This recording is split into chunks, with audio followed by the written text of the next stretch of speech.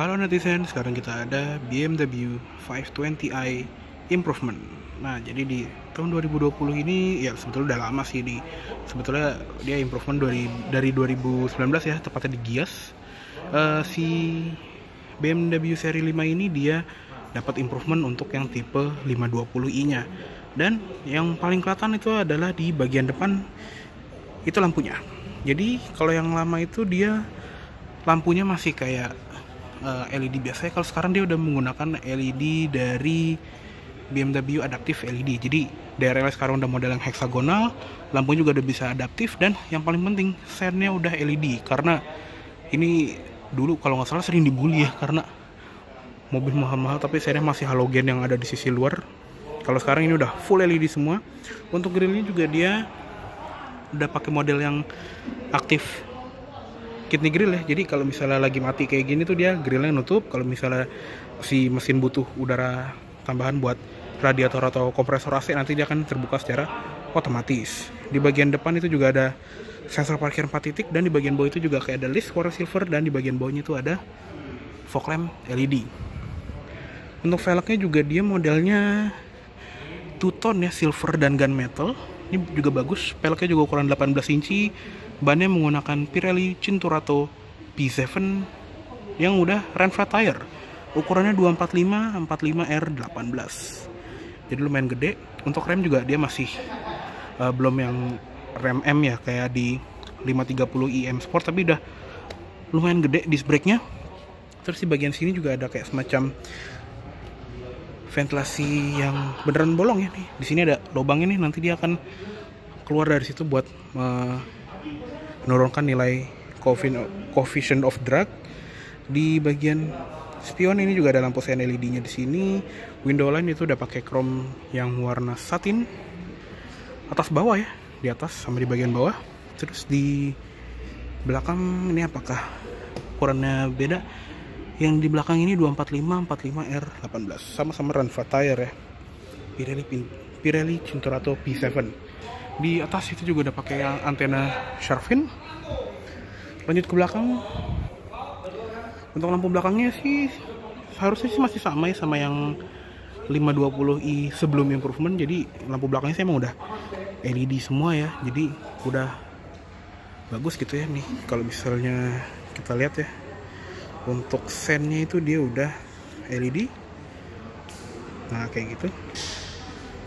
Terus di bagian kanannya itu ada emblem 520i di bagian sini juga ada kamera mundurnya. Di bagian bawah itu ada reflektor di bagian kiri sama kanan dan ada sensor parkir 6 titik. Di belakang jadi total ada 10 di bagian bawahnya juga ada dual muffler ya. Exitnya 2 di kaca belakang dia udah lengkap dengan defogger belakang dan ada high stop lamp di bagian atas. Dan untuk bagasinya juga dia sekarang sudah power back door. Nah untuk bagasinya sendiri sih sebetulnya nggak ada perubahan sama yang sebelum improvement. Dia masih super lega. Di sebelah kiri sini juga ada tempat penyimpanan yang bisa ditutup ada tempat penyimpanan yang terbuka dengan jaring dan ada tempat penyimpanan terbuka lagi di sebelah kanan tapi dia nggak ada power outlet ya di belakang. Ya wes. Di bagian sini juga ada tempat kayak buat naruh segitiga pengamannya khas BMW gitu dan yuk kita tutup aja. Oke sekarang kita lihat ke ruang mesin.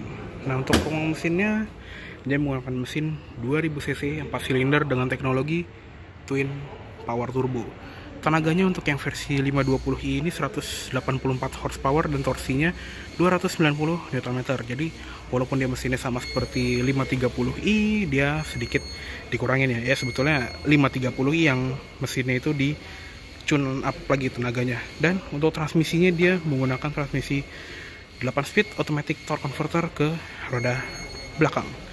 Dan di khasnya BMW juga dia kan ultimate driving machine ya. Dia ada ini ya kayak semacam strut bar gini atau strengthening beam buat memperkuat sasis dan kapas ini juga ada pakai hidrolik dan ada bonnet installationnya juga. Oke yuk langsung kita tutup aja. Dan sekarang kita lihat ke dalam. Nah untuk handle juga dia udah menggunakan handle yang ada smart entry juga ya. Untuk di bagian dalam juga. Interiornya udah pakai jok kulit lah pastinya. Dan di bagian sini tuh ada pengaturannya. Bisa maju mundur. Bisa recline juga. Secara elektrik. Tapi dia nggak ada like extension gitu ya. Kayak di seri 3 dan yuk langsung kita masuk aja. Oke. Okay. nah untuk di bagian dalam. Ini juga masih berasa mewah. Untuk pengaturan setir juga ini bisa tilt teleskopik secara elektrik ya. Nah untuk setir sendiri dia pastinya udah lapis kulit dong. Di sini juga kulitnya lumayan halus. Di tengah ada klakson dan airbag. Di sebelah kiri ini juga ada tombol untuk cruise control serta speed limiter. Di sebelah kanan itu ada buat volume ganti mode ganti track. Terus ada angka telepon serta ada voice command juga. Di belakang ini juga ada pedal shift. Di kanan sama di kiri ada ini juga. Tuas sen ada tombol ini juga nih. Tombol komputer atau MID sama auto high beam. Yang sebelah kanan ini ada tuas untuk wiper dan dia juga sudah auto wiper ya. Untuk gas cluster sendiri juga dia udah pakai yang uh, full TFT display. Sebetulnya yang versi pre-improvement juga udah pakai. Cuma dia nggak ada bezel yang kayak ring gitu lagi ya. Jadi ini udah bener-bener full layar ini bisa dipegang. Dan kalau kita ganti mode berkendara juga dia bisa ganti-ganti uh, latarnya. Kayak sekarang lagi di mode comfort kalau di GoPro dia jadi biru dan kalau misalnya lagi di sport mode dia jadi merah yang sangat racing. Seperti itu. Di MID nya sendiri itu juga uh, lumayan lengkap ya. Di sini ada fuel gauge sama ada range. Di sebelah kiri ada uh, speedometer, ada tachometer dan ada jam digital, sorry jam analog di atasnya, ada temperatur udara luar dan ada temperatur mesin. Untuk MID-nya ada di bawah. Ini ada indikator kayak pintu terbuka atau apa pun, ada odometer sama trip, ada instant fuel consumption sama indikator untuk efficient dynamicnya, ada kecepatan rata-rata sama konsumsi BBM rata-rata dan kosong. Lanjut ke sebelah kanan ada ini juga ada strip ambient light di sini ventilasi AC bisa dibuka tutup sama ada strip warna silvernya sini. Ada pengaturan lampu dia sudah auto headlight ya. Ada lampu senja lampu utama dan lampu utama. Terus ada fog lamp depan fog lamp belakang. Ada knob untuk ngatur interior brightness dan ada parking lights kanan kiri. Di bagian bawah sini juga ada tempat penyimpanan yang ini udah pakai bludo ya ditutupnya. Di bagian sini juga ada tos kap mesin khas BMW yang harus ditarik dua kali buat buka kap mesinnya. Jadi pas kita di depan tuh nggak perlu narik-narik ini lagi ya latchnya untuk pedal juga udah pakai pedal yang organ. Di sebelah kiri juga ada footrestnya ya. Misalnya kalangan karpet. Di bagian door trim ini juga dia soft touch. Di sini soft touch di sini soft touch. Ada jahitan warna hitam sih ya di sini. Ada panel warna piano black juga di sini dan ada ambient light lagi di sini nih terus di handle dia silver ada central locking ada twitter dan ada ini juga ya tombol untuk memory seat. Ada dua slot. Terus ada tombol untuk pelipatan spion. Ada all auto power window window lock dan ada tombol untuk membuka tirai belakang yang bisa kita lihat dari sini nih. Nah, jadi udah elektrik ya. Terus di bagian sini ada speaker lagi ada tombol pembuka bagasi dan ada door pocket sama ada cup holder. Di bagian bawah juga ada seal plate warna silver dengan logo BMW di atas ini ada sun visor dengan vanity mirror yang ada lampu riasnya plus ada cup holder di bagian sini. Di atas ada grab handle pengemudi dan ada seat belt tapi belum ada uh, head adjusternya ya. Dia pastinya sudah ada side curtain airbag.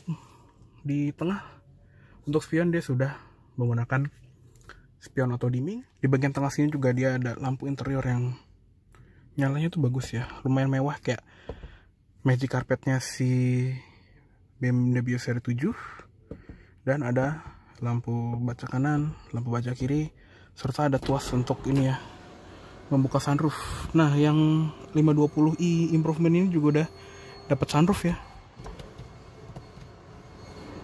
dia udah auto buka tutup dan ada tirainya juga nih. Buka juga secara elektrik. Nah seperti itu. Di bagian tengah dia juga udah pakai iDrive seri 6 yang udah pakai touchscreen juga ya pengaturannya. Di sini ada input media radio dia ada FM AM ada koleksi musik dan dia juga ada built-in hard drive ya sekitar 20 giga kalau nggak salah. Jadi kalau misalnya kita masukin ini udah kita masukin CD atau masukin USB dia akan kayak tersimpan secara otomatis.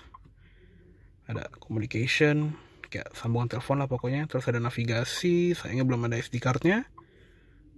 Terus ada sebentar ini ada ini juga ya BMW connected drive dan ada settingan kendaraan kayak pengaturan lampu ini untuk pengaturan interior. Dia ada ambient light yang warna juga bisa diatur.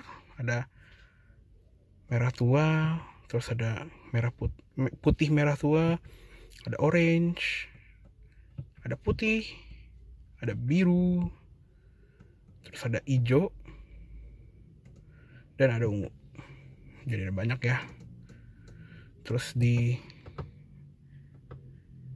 bagian tadi itu ada pengaturan untuk kayak kecerahannya mau terang atau redup dan bisa didim kalau lagi malam di bagian sini juga ada buat settingan lampu-lampu luar ya, kayak triple turn signal, DRL sorotan lampu juga bisa difokusin ke setir kiri atau setir kanan. Ada welcome lights juga dan ada follow me home. Terus ada settingan kunci dan spion atau kayak central lock dan auto folding mirror gitu-gitu. Ada speed warning terus ada ini juga kayak attention assist. Jadi kalau misalnya kita udah kelamaan nyetir dia akan kayak ngasih tahu untuk istirahat gitu loh. Terus ada settingan parkir nah dia juga udah ada auto parking ya. Ada park assist dan ada ini juga park distance control yang ada rem daruratnya. Jadi kalau misalnya kita lagi uh, parkir terus kayak ada kita mau ngedeketin ke tembok itu dia akan intervensi rem darurat. Jadi kalau misalnya kita ada lagi di parkir di Indomaret terus ada kayak tukang parkir yang terlalu mepet dia akan otomatis ngerem dan ada ini juga ya tombol mode berkendara konfigurasi untuk sport individual. Bisa diatur steeringnya mesinnya dan transmisi atau settingan untuk Eco Pro kenyamanan suhu ini juga bisa diatur untuk sirkulasi udara otomatis. Jadi dia akan ngedeteksi kalau misalnya di luar itu terlalu banyak polusi dia akan nutup. Dan ada suhu untuk uh, atas ya suhu uh, ventilasi yang ini nih jadi kayak dia bisa lebih dingin atau lebih panas dari settingan yang kita atur dan ada buat masing-masing. Jadi buat suhu pengemudi suhu penumpang itu bisa beda dan ada auxiliary ventilation. Jadi kayak ada timer gitu loh pas kita udah balik ke mobil habis kita parkir itu dia bisa uh, dingin. Dan ada ini juga nih tuh. Untuk settingan iDrive dan ada settingan handphone kayak buat sambungan konten menu utama pengemudi profil pengemudi status kendaraan juga bisa dicek. Ada tire pressure warning system lever oli check control ini kapas ini tadi belum rapat dan ada kayak pengingat servis gitu ya. Ada teknologi interaktif buat efficient dynamic kita bisa lihat kayak mesinnya ada lagi apa dan ada fuel consumption sama berapa lama stop startnya itu udah aktif. Dan ada sports display. Nah dia juga bisa lihat nih berapa daya dalam satuan kilowatt dan berapa torsi dalam satuan newton meter pas kita berkendara. Terus ada info berkendara kayak onboard komputer dan ada trip komputer juga. Sebetulnya kurang lebih sama ya. Trip A trip B gitulah pokoknya. Dan ada buat buku manual. Dan kalau di sini juga ada animasinya. Kalau misalnya kita uh, masih bingung gitu ya dia ada animasinya gitu loh. Nah ini kalau kita play kok nggak mau ya nah kita mulai coba ini salah satu animasi gitu Kontrol stabilitas dinamis DSC mencegah selipnya roda penggerak dan mendeteksi kondisi berkendara yang tidak stabil.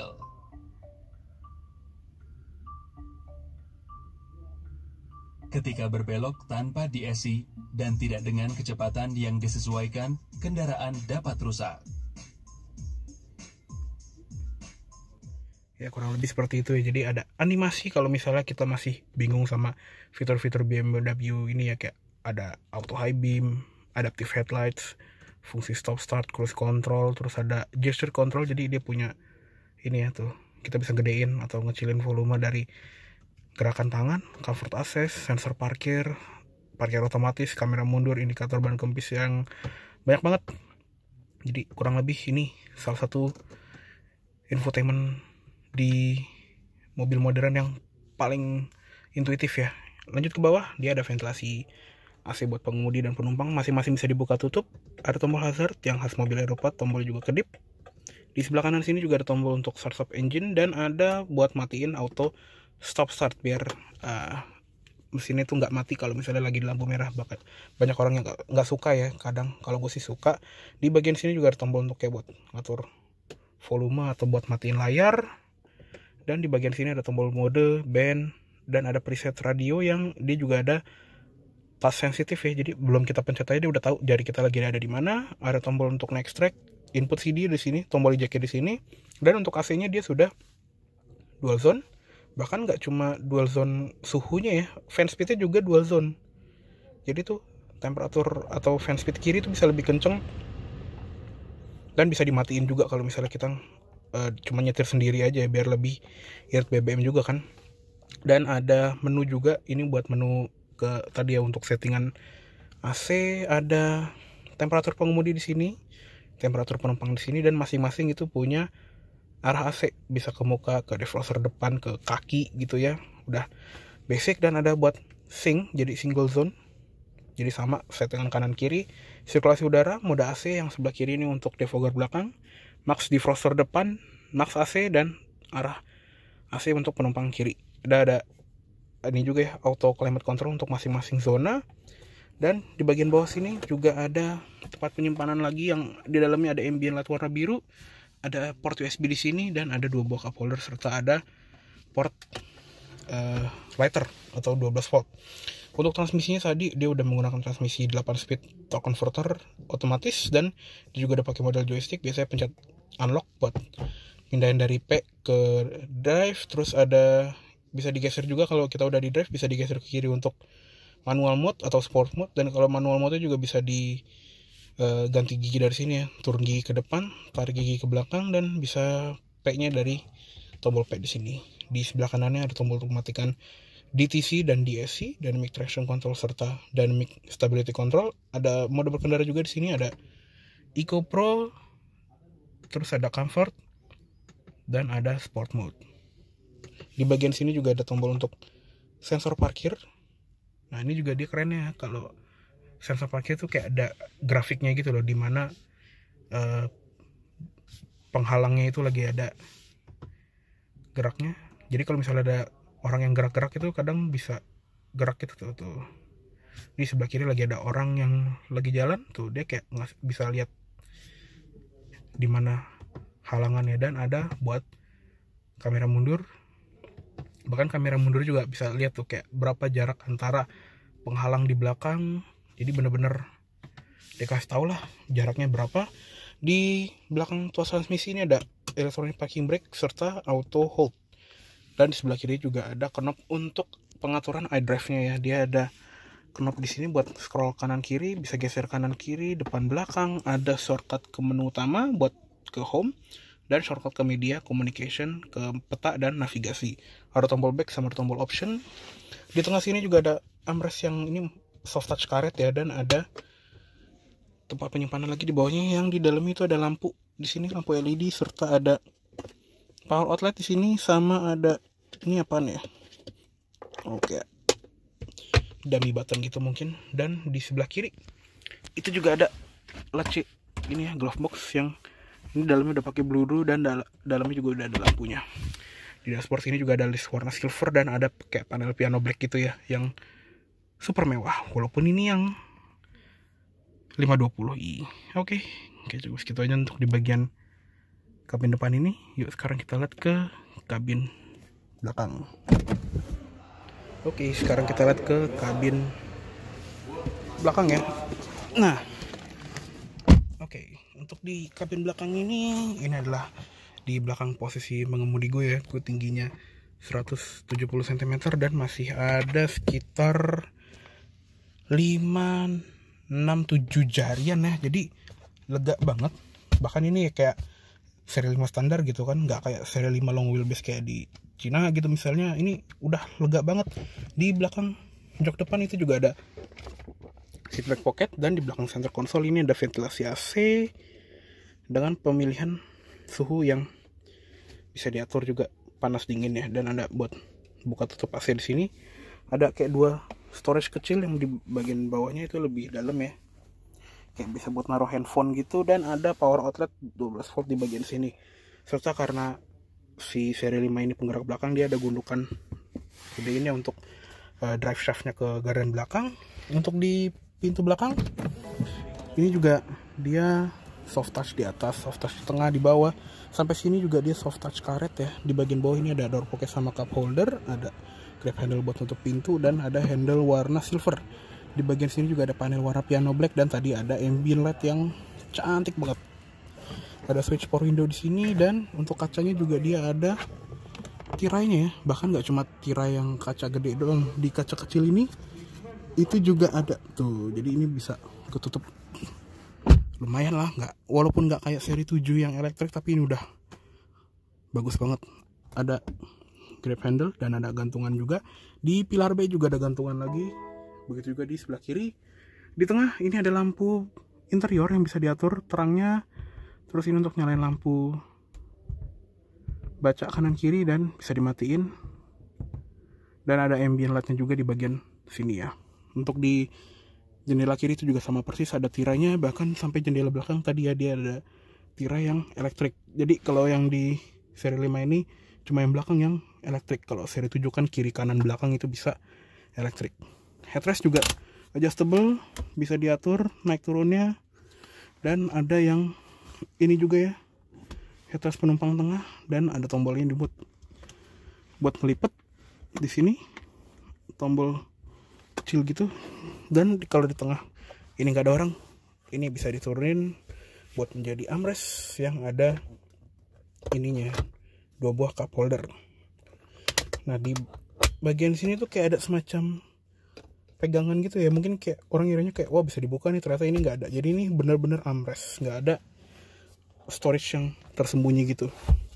Seatbelt udah lengkap ya tiga titik semua. Dan ada input isofix buat naruh kursi bayi di jok kiri sama di jok kanan.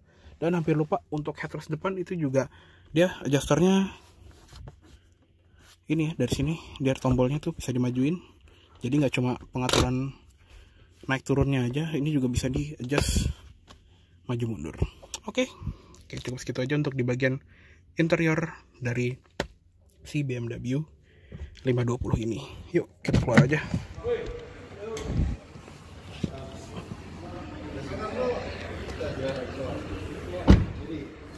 Oke. Oke cukup segitu dulu untuk review dari BMW 520i Improvement tahun 2020 kali ini mohon maaf apabila ada salah kata-kata dalam menyampaikan review dan tadi ya mobil ini lagi ada di BMW Astra Sunter Nanti untuk kontak personnya bisa lihat di description yang ada di bagian bawah ya. Oke, terima kasih banyak telah menonton. Sampai jumpa di video selanjutnya.